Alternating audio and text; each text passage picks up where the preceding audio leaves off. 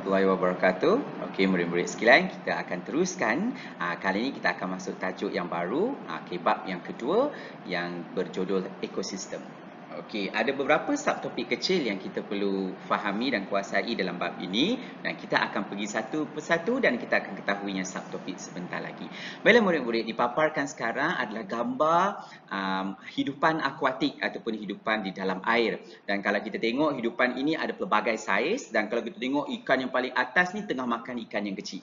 Okey, mana datang ikan kecil ni? Ikan kecil ni kat sini. Uh, ikan yang kecil ni pula makan ikan yang lebih kecil daripada dia iaitu yang ini. Ha, kemudian yang ini pula makan yang mana? Dia makan ini.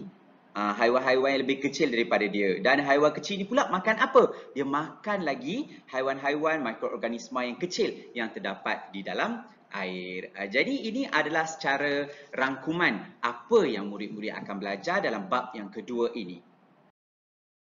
Jadi kita berada di dalam bab yang kedua yang berjudul ekosistem. Di dalam tajuk ini, okey, kita akan mempelajari yang pertama berkenaan dengan aliran tenaga dalam ekosistem. Okey, maksudnya kita akan mengenali berkenaan dengan ekosistem yang ada. Okey, diberi awak satu ekosistem dan kita mesti mengetahui bagaimanakah aliran tenaga itu berlaku di dalam ekosistem tersebut. Kemudian kita akan tengok berkenaan dengan kitar air, kitar oksigen dan juga kitar karbon. Bila kita cakap berkenaan dengan kitar, kita bermaksud pusingan. Pusingan air, pusingan oksigen dan pusingan karbon. Daripada mana datangnya air, oksigen dan karbon dan ke mana air, oksigen dan karbon ini pergi untuk digunakan dan berakhir di mana. Dan yang terakhir sekali kita akan melihat interaksi antara organisma di persekitaran. Maksudnya kita ada organisma yang banyak dekat sekeliling kita. Adakah setiap organisma ini berinteraksi, berhubung di antara satu sama lain? Jadi inilah subtopik yang akan kita belajar dalam bab yang kedua. Untuk hari ini kita akan fokus kepada subtopik yang pertama iaitu menyatakan aliran tenaga dalam ekosistem. Baik murid-murid, Cuba lihat uh, suasana gambar yang ditunjukkan sekarang. Okey, ini adalah satu ekosistem di mana di dalam ekosistem ini terdapat pelbagai organisma hidupan iaitu haiwan dan juga tumbuhan.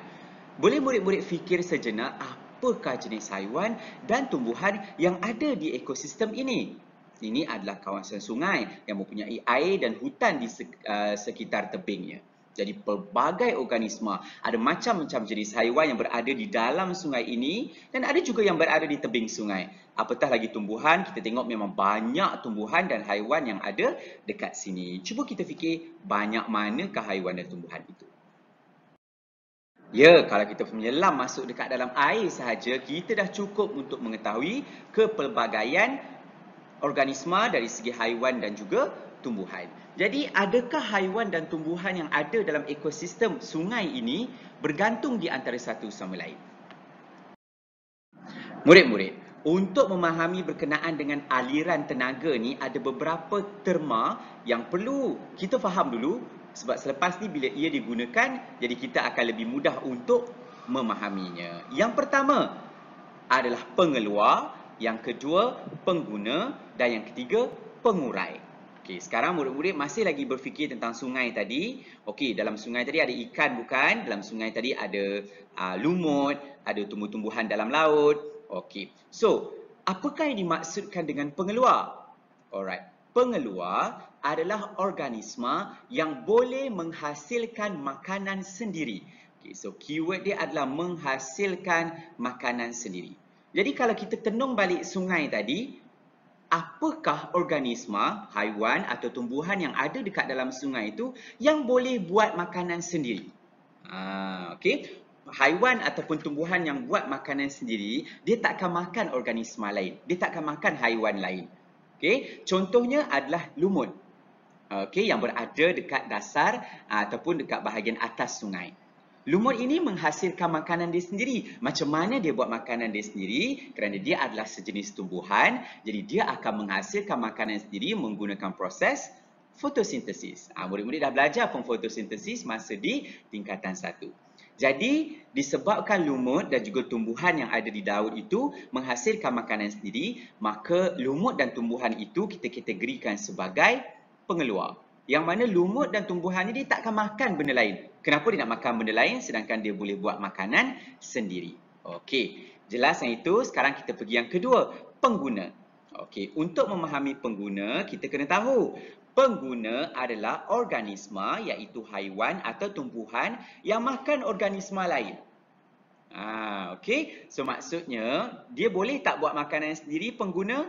Pengguna tak boleh buat makanan sendiri. Sebab tu dia panggil sebagai pengguna. Maksudnya diguna benda lain. Untuk menghasil, untuk dapatkan makanan bagi dia, dia makan benda lain. Digunakan orang lain. Okey. Pengguna ini pula terbahagi kepada tiga. Pengguna primer, pengguna sekunder dan pengguna tertiary. Okey, mungkin perkataan-perkataan ini pernah dengar. Tapi kita boleh cakap dalam bahasa biasa, pengguna primer ni adalah pengguna pertama.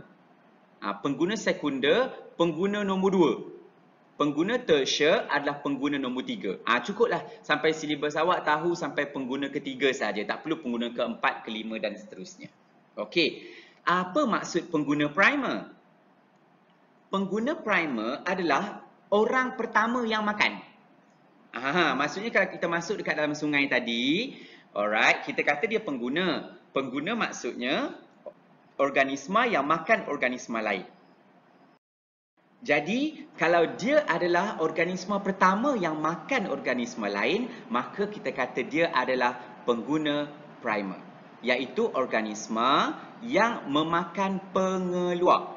Ha, Okey, kita kata pengeluar siapa tadi? Pengeluar adalah tumbuh-tumbuhan dan juga lumut yang ada dekat sungai kan? Jadi, pengguna primer adalah organisma yang makan lumut dan tumbuhan tadi.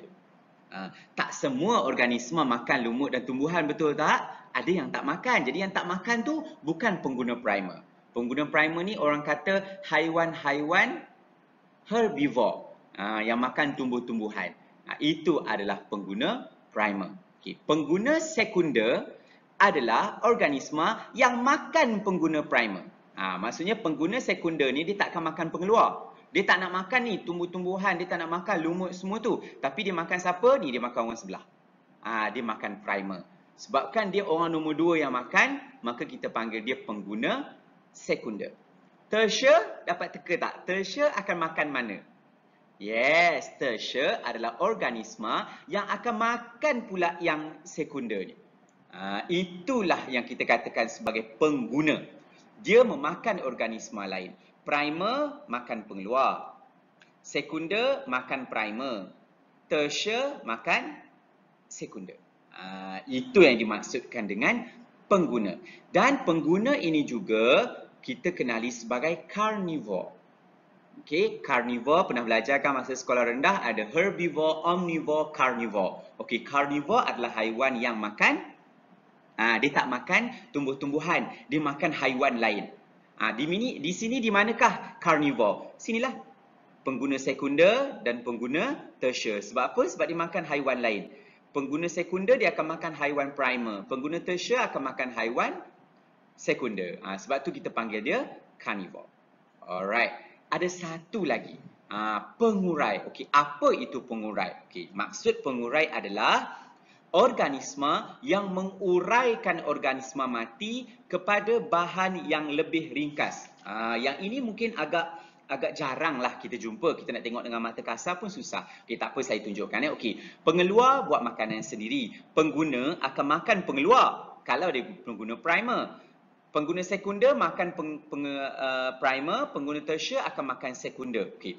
Apabila pengguna-pengguna ini mati, okey, ialah dah sampai hayat dia mati kena bunuh ke apa ke, apabila dia mati, dia ada orang lain yang makan mereka. Ah, bukan orang lah, maksudnya organisma lain yang makan pengguna. Ah, okey, awak nampak eh, pengeluar pengguna makan. Okey. Pengguna kalau dia mati ada orang yang makan. Siapa yang makan? pengurai. Ah, okey, pengurai ni kalau kita tengok eh sebarang haiwan yang mati, okey awak biasa tengok mungkin ada tengok burung ke, kalau yang kesian kadang-kadang kita tengok kucing kan kena langgar. Okey, apa sebarang jenis haiwan lah kalau kita tanam kita tengok lama-lama kalau kita kita berani nak korek balik, kita takkan jumpalah tubuh badan dia yang sama seperti biasa. Kita akan jumpa tulang rangka. Jadi mana pergi dia punya uh, bulu, mana pergi dia punya isi-isi, mana dia punya tangan, dia punya kaki, dia punya ekor, semua dah hilang. Uh, mana pergi benda tu? Sebenarnya benda tu organisma yang dinamakan sebagai pengurai dah buat kerja dia akan organisma mati ni dia akan tukar kepada bahan yang lebih ringkas. Lebih ringkas ni maksudnya yang kita tak nampak rupa bentuk dia. Ha, okay. Contoh-contoh pengurai ni adalah macam uh, mikroorganisma yang kecil. Yang kita tak akan nampak. Uh, okay. Mikroorganisma yang halus-halus ni dia akan menguraikan kita punya badan uh, kepada bahan yang lebih ringkas sehingga kita tak nampak dah bentuk badan kita. Okay. So ini adalah pusingan empat Okey, terma utama yang awak perlu faham sebelum kita pergi ke tajuk ataupun sat topik ini bahagian yang seterusnya. Ingat apa? Pengeluar buat makan sendiri, pengguna dia makan pengeluar kalau primer, sekunder makan pengeluar, tertiary eh, sekunder makan primer, tertiary makan sekunder, pengurai makan pengguna. Ha, itu pusingan dia. Jelas murid eh? Kejap lagi kita nak tengok macam mana uh, rupa sebenar pengeluar, pengguna dan juga pengurai yang kita ada dekat sekeliling kita. Okey, cuba tengok sini murid-murid. Ha, saya berhenti dekat pengguna saja. Kita anggap haiwan ini tidak mati. Alright, so ada pengeluar, ada pengguna primer, ada pengguna sekunder. Ada ikan keli, ini ikan keli ya murid-murid. Ha, ini ikan keli, ini apa ni? Memerang eh. Ha, Okey, dan ini adalah tumbuhan dalam laut. Ha, boleh kata lumut lah dekat dasar laut tu.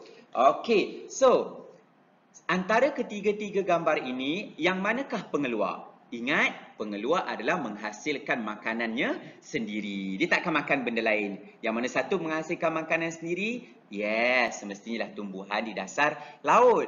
Ha, walaupun ditumbuh di dasar laut tapi masih boleh ditembusi dengan cahaya matahari, maka dia boleh untuk menjalankan proses fotosintesis dan membuat makanan sendiri. Okey. Dan pengeluar. Pengeluar ni paling senang murid-murid kalau nak kenal pasti. Dia mesti boleh buat makanan sendiri. Dan yang boleh buat makanan sendiri ni tumbuhan je. Mana ada haiwan boleh buat makanan sendiri, kan? Alright, pengguna primer maksudnya pengguna yang makan pengeluar, pengguna yang makan pokok, yang makan lumut, antara ikan keli dan juga memerang, memerang eh. Alright, yang mana satukah yang makan tumbuhan dalam laut ataupun dalam air? Yes, jawapan dia adalah ikan keli. Alright, dan yang terakhir pengguna sekunder maksudnya siapa yang makan ikan keli? Of course lah memerang ini. Okay, so kita keluarkan nama dia orang eh. Alright, sebab kita nak hasilkan satu benda yang dinamakan sebagai rantai makanan. This is lumut, this is ikan keli, this is memerang. Okay, kita nak sekarang ni nak pergi kepada bahagian seterusnya iaitu menghasilkan rantai makanan. Tahu apa itu rantai? Chain. Uh, ataupun uh, rantai-rantai emas ibu awak, kakak awak, itu pun kita panggil rantai. Betul tak? Rantai ni kan dia panjang, macam tu dia bersambung di antara satu sama lain. Okey. Rantai makanan pula maksudnya apa? Okey, rantai makanan ini bermaksud uh, perhubungan makanan di antara organisma-organisma. Uh, maksudnya kita menghubungkan antara satu organisma dengan organisma yang lain dari segi makanan mereka. Okey, sebagai contoh dekat depan ini ada tiga haiwan. Jadi kita nak buat rantai. Okey, kita kena keluarkan nama. Kita tak perlukan gambar. Lumut, ikan keli, memerang. Apa yang dimaksudkan dengan rantai adalah kita letakkan anak panah ini. Uh, anak panah ini mestilah arahnya betul. Murid-murid jangan terbalik. Kalau murid-murid buat pergi arah sini, maksudnya murid-murid memberitahu yang lumut ni makan ikan keli. Lumut ni dapat tenaga daripada ikan keli. Tak logik kan? Kejam betul lumut ni. Alright? So, so anak panah dia kena betul sebab anak panah ini sebenarnya merujuk kepada aliran tenaga. Ha, cara nak baca dia. Maksudnya kita baca macam ni ikan keli, memerang dapat tenaga daripada ikan keli. Sebab apa? Sebab dia makan ikan keli. Ikan keli dapat tenaga daripada lumut. Sebab apa? Sebab dia makan lumut. So, dari mana datangnya tenaga bagi setiap organisma? Dia datang daripada makanan yang dia makan. Sama juga macam kita manusia murid-murid. Kalau kita tak makan, kita tak ada tenaga. Awak demam, Parents kita mesti paksa makan. Alasannya makan nanti tak ada tenaga macam mana nak baik. Sama juga macam rantai makanan. Okey, rantai makanan ini menunjukkan aliran tenaga. Ha, memerang dapat tenaga daripada ikan keli. Ikan keli dapat tenaga daripada lumut. Ha, jadi kita pusing-pusing-pusing macam tu. Anak panah ni memang datang daripada kiri tapi untuk bacanya kita baca daripada kanan. Jelas ya murid-murid? Alright, kita teruskan lagi. Okey, ini adalah contoh rantai makanan yang lain. Saya sekadar menunjukkan contoh, lagi banyak kan lagi faham. Okey, burung helang, tikus, jagung. Macam mana cara baca dia? Burung helang mendapat tenaga daripada tikus, tikus mendapatkan tenaga daripada jagung. Okey, so jagung ni adalah pengeluar, tikus adalah pengguna primer, burung helang adalah pengguna sekunder. Ah, okay. Murid-murid ramai uh, murid-murid lain sebelum ni dia bila sebut primer ni nombor satu kan, sekunder nombor dua, tertiary nombor tiga. Jadi dia letak ini primer. Ah, sebenarnya salah. Walaupun primer tu maksudnya satu, tapi pengguna primer maksudnya pengguna yang pertama iaitu tikus. Macam ni kita nak tahu dia pengguna, dia mesti pengguna pertama mesti makan pengeluar. Siapa pengeluar? Jagung. Jagung buat makanan sendiri. Okey, kita tengok contoh yang panjang sikit. Ha, ini. Carrot. Okey, arnab. Okey, ini apa ni? Fox, serigala. Okey, singa. Singa nampak dia jeling mata ni. Okey, so singa dapat tenaga daripada serigala. Serigala dapat tenaga dengan memakan arnab. Arnab mendapat tenaga dengan memakan uh, carrot. Okey, lobak merah. So, carrot adalah pengeluar, arnab adalah pengguna primer, serigala adalah pengguna sekunder, singa adalah pengguna tertiary. Kita tengok siapa makan, siapa. Alright, kita tengok panjang lagi. Ha, ini pula. Okey. Rumput, belalang, katak, ular, helang.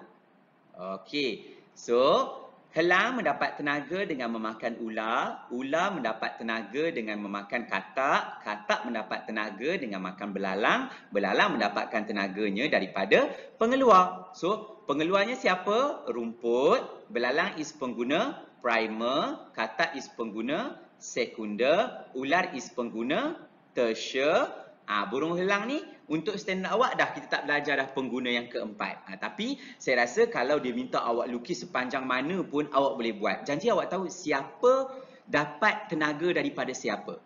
Ha, okay. So ayat kampungnya adalah siapa makan siapa. Ha, senang. Tapi anak panah dia kena betul murid-murid jangan terbalik. Kalau terbalik memang salah terus.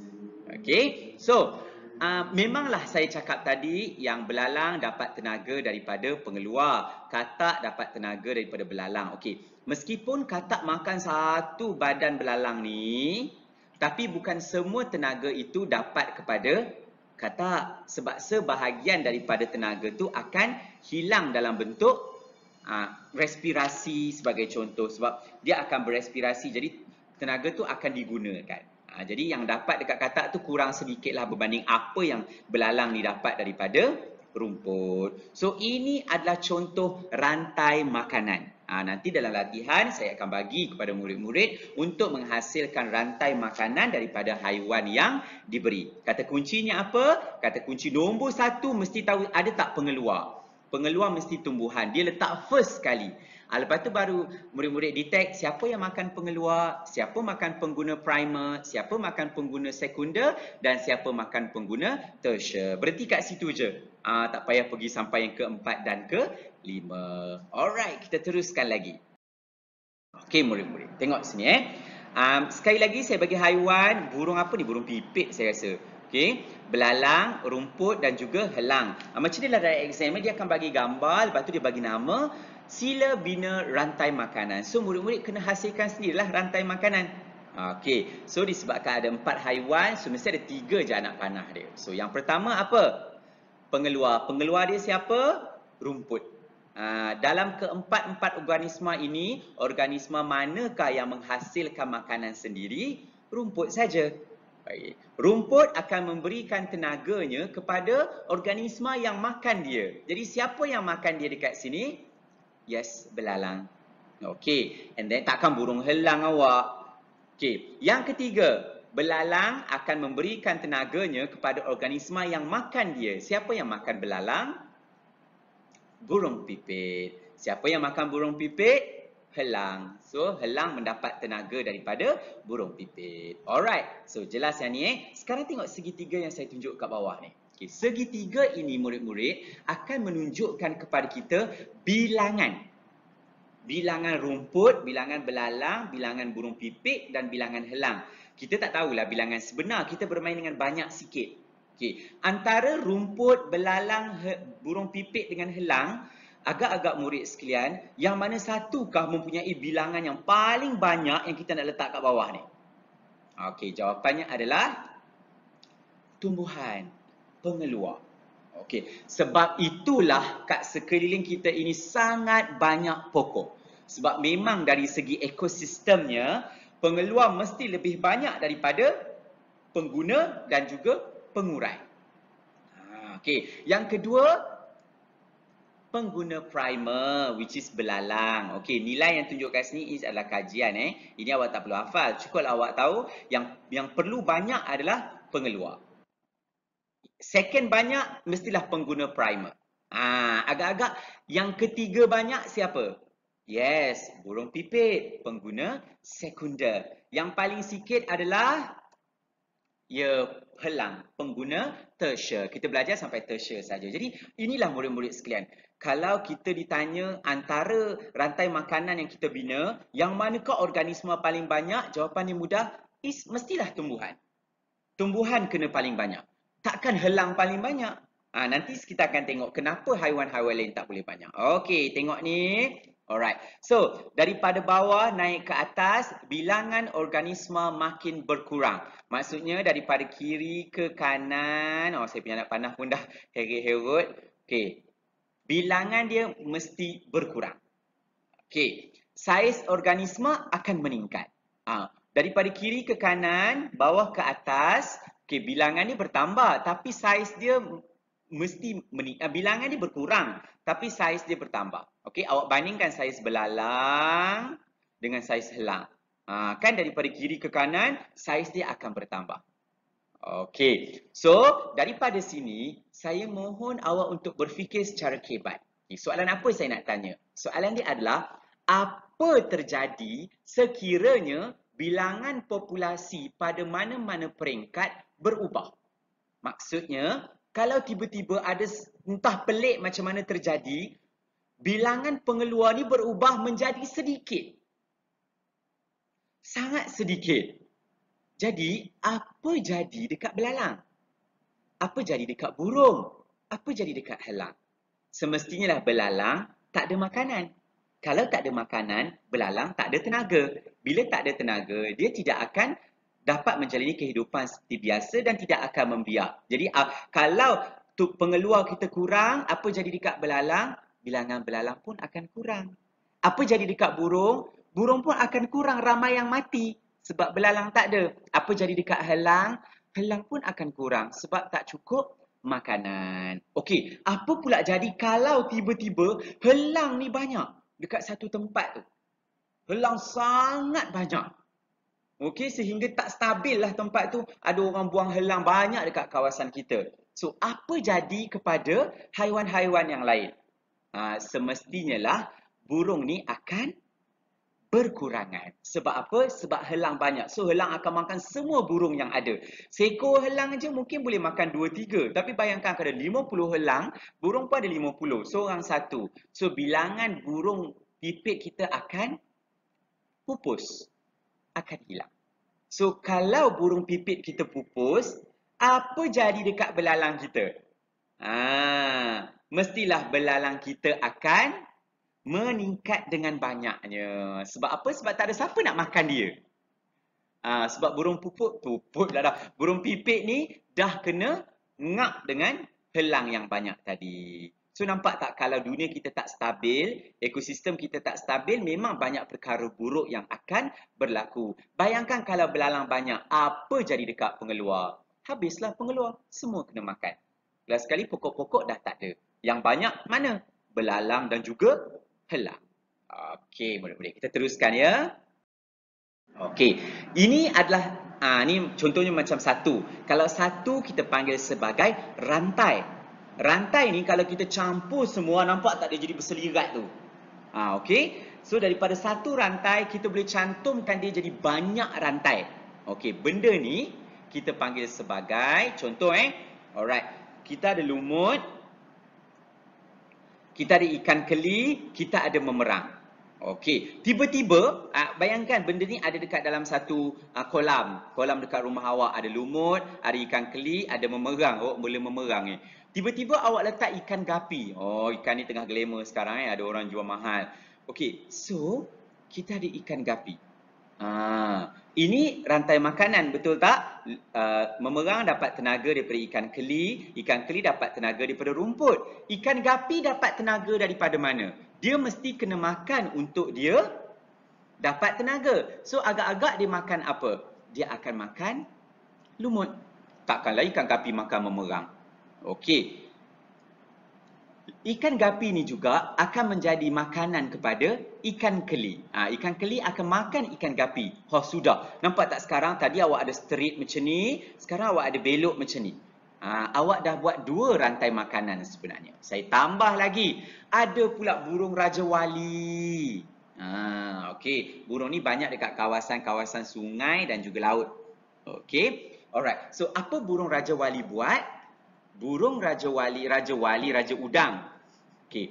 Dia mesti mendapatkan tenaga. Cara untuk mendapatkan tenaga, dia mesti makan. Okey, agak-agak dia makan apa? Adakah burung raja udang makan pengeluar lumut? Tidak. Dia adakah dia akan makan memerang? Pun tidak. Burung raja udang akan makan ikan gapi. Ah, so awak nampak sekarang ni, eh? awak ada laluan yang lain. Dia pergi straight ni pula.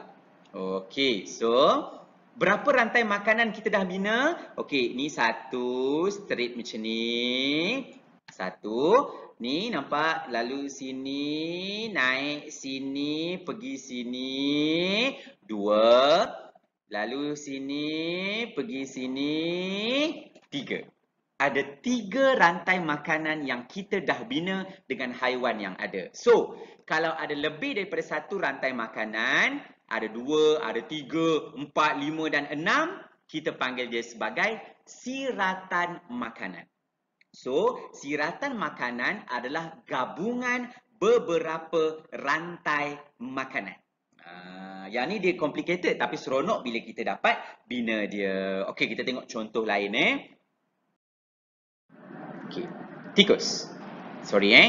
Oh, saya patah balik. Sorry, sorry, sorry. Okey, dan tikus. Okey, daripada ini kita dikehendaki untuk membina siratan makanan. Ha, eh. Okey, first macam yang saya cakap tadi, pertama sekali kita mestilah letakkan pengeluar. Sebab dia takkan makan orang lain, dia akan dimakan. Okey. Haiwan manakah yang akan makan padi? Belalang. Okey, so belalang dapat tenaga daripada padi. Okey, belalang ini pula, padi ini juga akan dimakan oleh tikus. Tikus pun akan merosakkan padi. Okey, alright next. Belalang ini katak akan makan dia untuk mendapatkan tenaga. Alright, tikus pula ular akan makan dia untuk dapat tenaga. Ada lagi tak? Ah, ha, ular ni juga dia punya tamak haloba dia, katak ni pun dia makan.